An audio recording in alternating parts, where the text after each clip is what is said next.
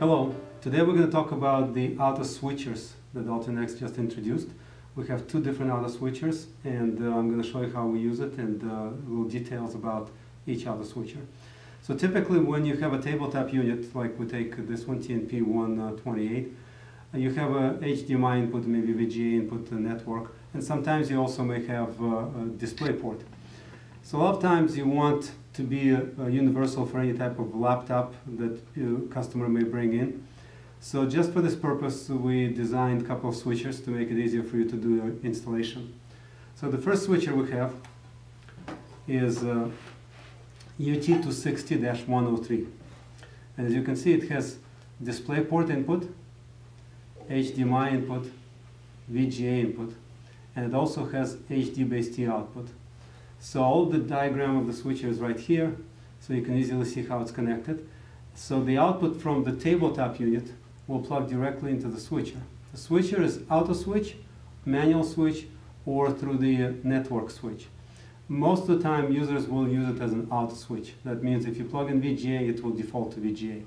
If you plug in HDMI, it will default to HDMI. And if you plug in DisplayPort, it will dis uh, default to DisplayPort.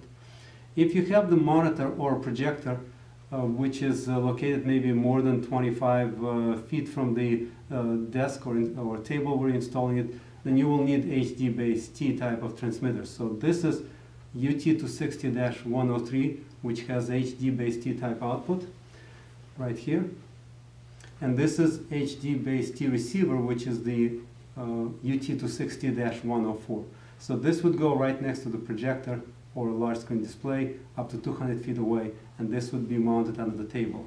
To mount it under the table, we provide a mounting brackets that are mounted right on the side of it, and you can secure it right below the table so it's out of sight.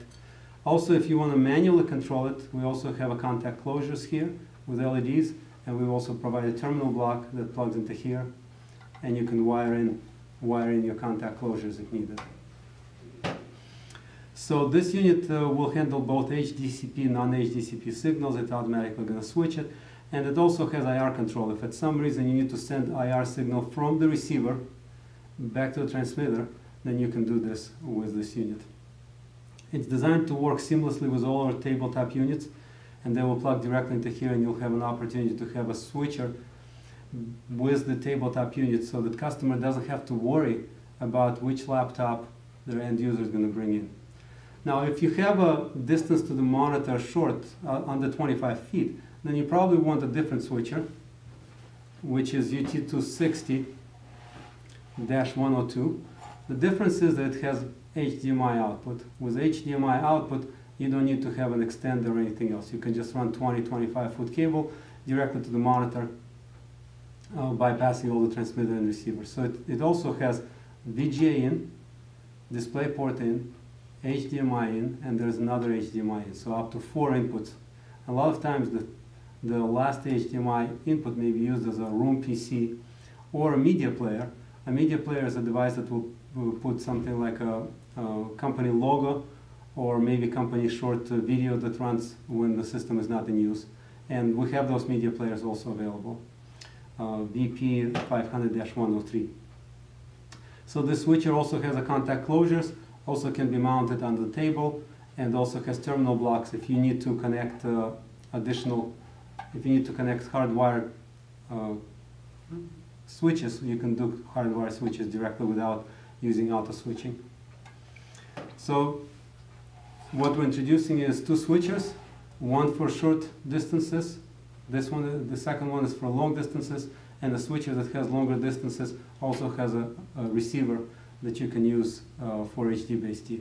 On the front panel of this switcher, you have a manual button that you can select an input that you can select an input by pressing manual button. Sometimes people install it under the table with the, with the button under the table easily reachable and you can just reach under the table and push the button. But in many cases, auto switching is the way to go. And that's it for the introduction of the UT260-102 U260-103 and the companion receiver UT260-104.